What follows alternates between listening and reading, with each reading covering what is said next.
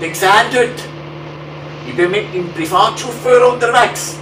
Schaut den an da vorne. Ihr kennt den auch schon. Er hat gesagt, wir machen heute eine Fahrt ins Schwarze. Ah, das sage ich auch.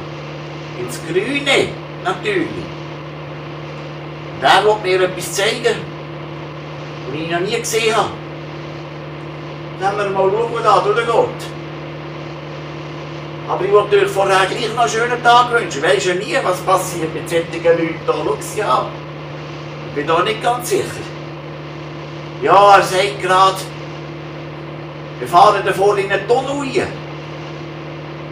Ah, schau, ich sehe ihn da vorne, kommt er. Dann wird es halt im Moment schwarz.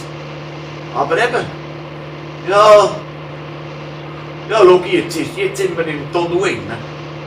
Der lenkt mir da überhaupt immer das Portemonnaie an, äh, im Fenster drin. Ich merke es doch, ich, ich spüre es doch, äh, äh, jemand kennt ihn.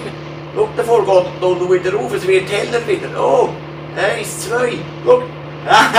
Jetzt sind wir wieder draußen dort, aber ich, ich habe schon gemerkt, da. sie hat noch ein Portemonnaie rumgekriegelt dort. Ach, die hinten oder?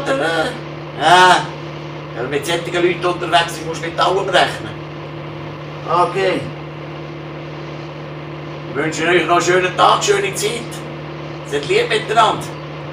Und wenn ihr entweder mit dem da vorne ein Auswärtchen machen, sagt mir es einfach.